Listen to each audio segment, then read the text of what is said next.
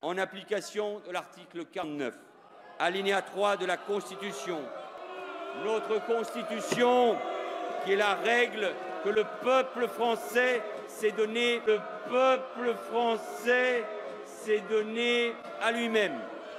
J'ai donc décidé d'engager la responsabilité du gouvernement sur le vote en nouvelle lecture du projet de loi relatif au travail, à la modernisation du dialogue social et à la sécurisation des parcours professionnels. Maintenant, il faut mettre en œuvre cette loi sans tarder. Conformément à l'article 49, alinéa 3 de la Constitution de 1958, j'ai décidé d'engager la responsabilité du gouvernement sur le projet de loi instituant un système universel de retraite.